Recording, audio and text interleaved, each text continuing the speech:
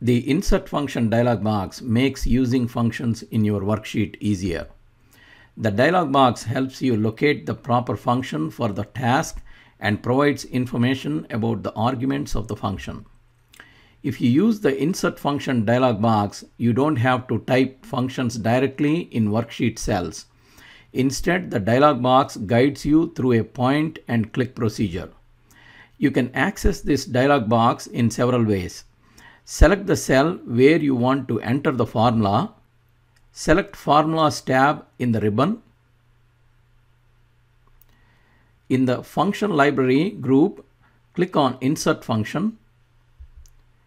Click on the Insert Function command which appears at the bottom of each drop-down list in the Formulas tab in the Function Library group.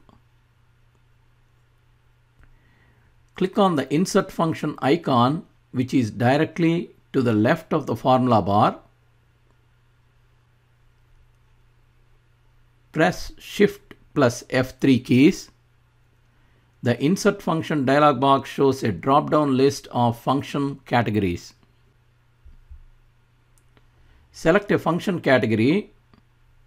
Functions in that category will display in alphabetical order. Select most recently used.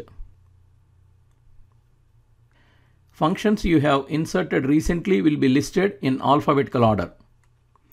Select all. All functions will be listed in alphabetical order.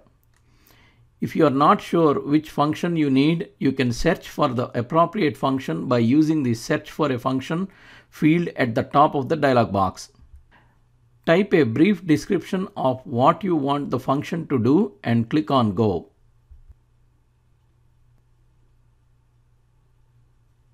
A list of functions likely to fit your needs and based on your description will be listed. When you select a function from the Select a Function list, Excel displays the function and its arguments and a brief description of what the function does below. Select a function and click on OK or double click on it. Excel will open the function arguments dialog box. The function arguments dialog box will show one text box for each of the function's arguments. We'll show a brief description of the function. As you select the arguments text box, Excel shows a description of the argument.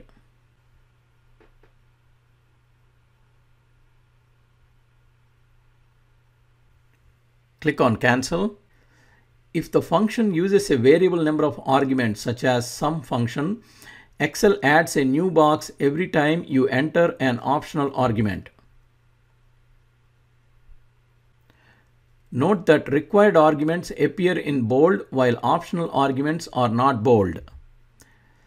As you provide arguments, the value of each argument is displayed to the right of each box. You can enter the address manually. Enter E2. You can see the value to the right.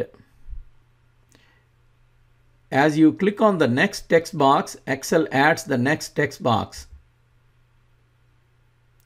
To select the cell or range in the worksheet, click on the collapse button to the right of the text box. The function arguments dialog box collapses. Click on the cell and then click on the expand button to select the cell. Now click on the next text box. To select a range in the worksheet, click on the collapse button. Select the range and click on expand button.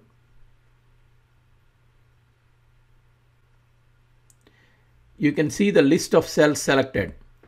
Click on OK to finish the formula and Excel displays the result in the cell.